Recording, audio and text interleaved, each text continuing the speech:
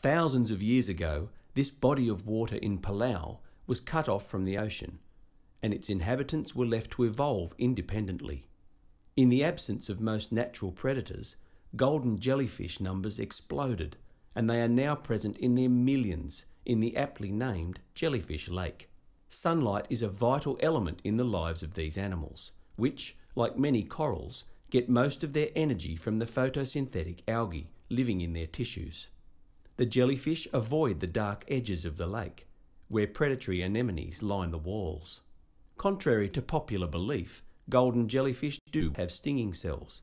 However, these stings are so mild that they are undetectable to human skin, and tourists can enjoy close encounters without concern.